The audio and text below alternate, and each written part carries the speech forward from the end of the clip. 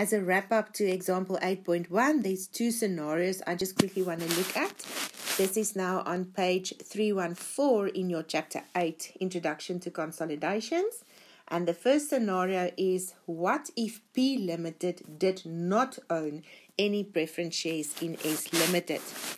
If that is the case, you will go through exactly the same processes to determine how much of the equity is attributable to the ordinary and preference shares, and then that portion attributable to the preference shares will be fully attributed to NCI. There's no investment by the parent. So in Journal 2, the at acquisition journal entry for the preference shares, the total preference share capital will eliminate to NCI. The full balance will be moved to the NCI at acquisition fair value amount, and as a result, you'll have a different goodwill or gain from bargain purchase. There's no investment by P that eliminates in that journal. Then, Journal 5, the dividend, preference dividend elimination journal entry, it still needs to happen. It is a negative movement in the equity of S that we attribute to NCI with that debit leg of the journal. The only difference now is the full 10,000 will eliminate as a debit to non-controlling interests.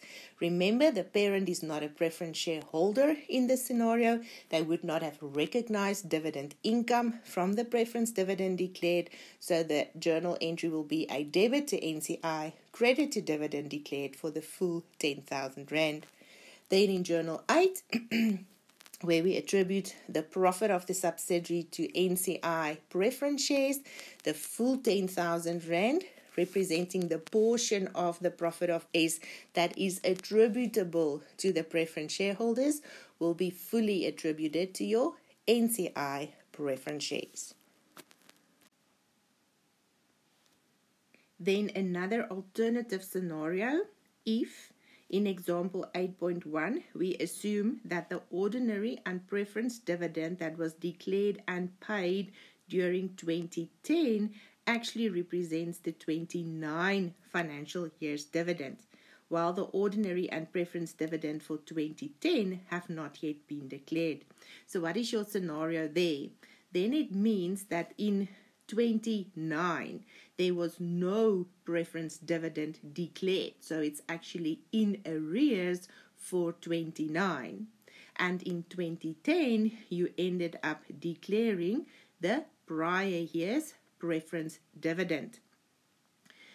Please assume then that there was still no dividend in arrears at acquisition date. I'm quickly going to do a timeline to show you the effect of this scenario.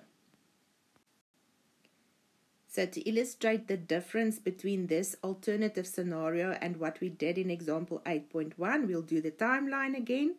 I have my retained earnings at acquisition of 7,500. The TB opening balance is still 117,500 and I have the movement identified of 110,000 rand. First question you ask when you are busy with your chapter 8 with your preference share implications is that 110,000 rand who is that now attributable to? Is that still only fully attributable to the ordinary shareholders, or is there perhaps a portion of that that is now attributable to your preference shareholders?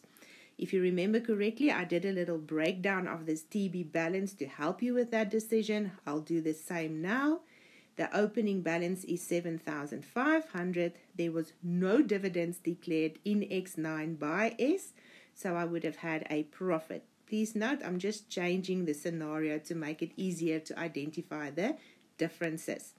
So by looking at that breakdown in yellow, you can see the preference dividend of 10,000 Rand is not yet excluded because it was not declared. It was not yet recognized by S.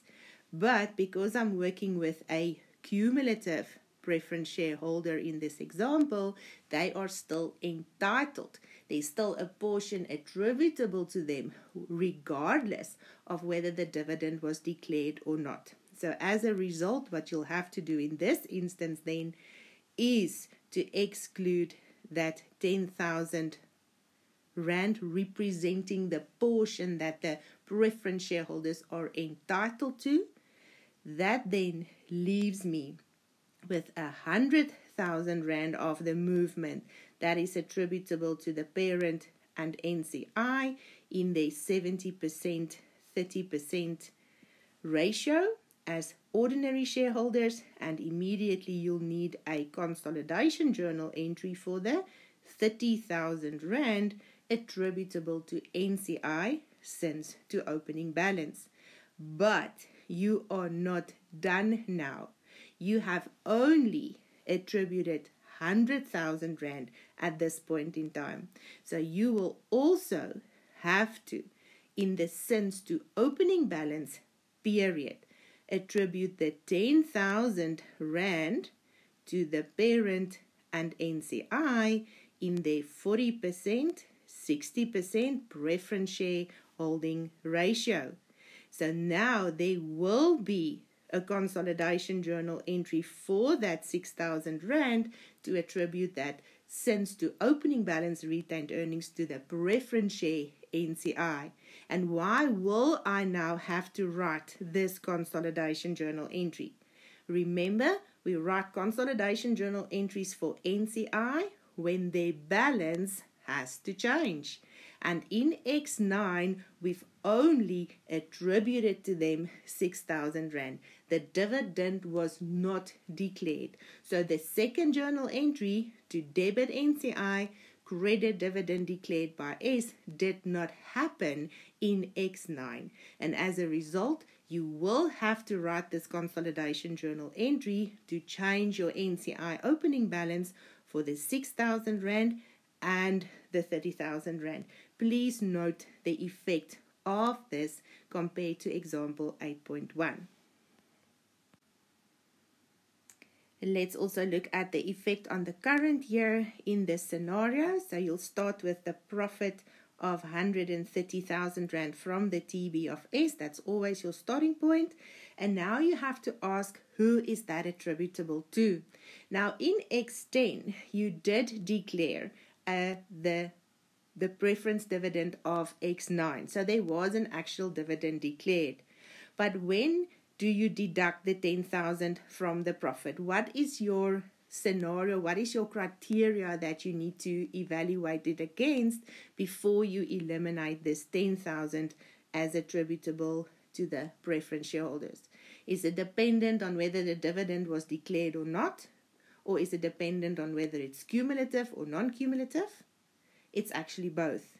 This is cumulative preference shareholders, regardless of whether a dividend was declared or not, regardless of which year's dividends in arrears are being declared or not, you have to exclude this 10,000 to get to the 120,000 attributable to the parent and NCI in their 70% 30% ratio. So there's profit attributable to NCI of 36,000 Rand. Remember, this happens. This 10,000 I'm taking out here happens because it's cumulative. It happens every year. Every year, the preference shareholders are entitled to that 10,000 dividend, which gets attributed to them, which increase their balance every year. Only when there's an actual dividend declared do you have the second journal entry where you deal with the actual dividend declared. But remember, the moment you've taken out this 10,000 Rand or this fixed annual preference dividend from the profit for the year, you have now only attributed the 120,000 Rand and you have to attribute the full profit of 130.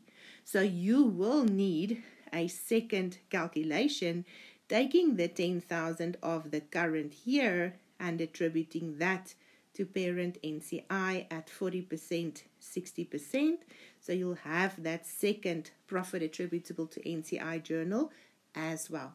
It's important that you understand the portion attributable to the preference shareholders when they cumulative happens every year regardless of which year's dividend gets declared in that particular reporting period. Now, because there was an actual preference dividend declared, you'll have that journal entry to eliminate that intra-group dividend. Please have a look at the analysis of equity and identify how this changed scenario affects the analysis. We already discussed it on the timeline, but just to bring it all together. Because the preference dividend cumulative was uh, in arrears in the period since to opening balance, there is this portion of the movement in the retained earnings of S that is now attributable to the preference shareholders. So you started with your movement, TB minus AT, but you had to exclude this portion of that movement attributable to the preference shares. What you left with is what's attributable to the ordinary shares, and that now gets attributed, and now you have that consolidation journal entry for NCI in to opening balance retained earnings.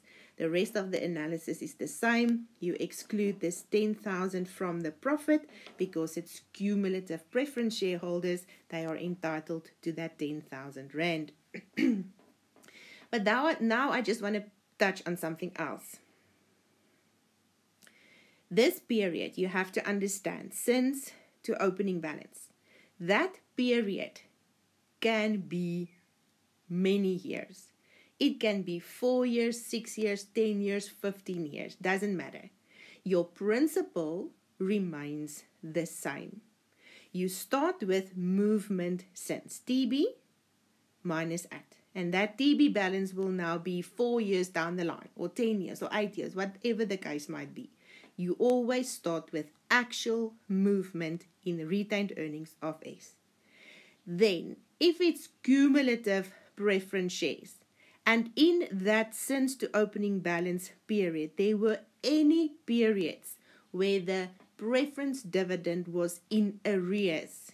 You have to exclude all those periods preference share dividend to get to the portion attributable to the ordinary shares. So let's assume this is an eight year period and that the preference dividend cumulative was in arrears for all eight years.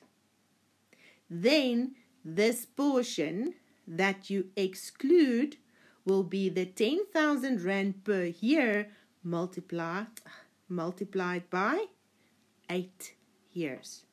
What's left is attributable to the ordinary shareholders. What if in the eight years the preference dividend was only in arrears for three years. Then you multiply the 10,000 with three, that gets excluded from the movement, and what's left is attributable to the ordinary shares. It is all based on that principle of what they are entitled to.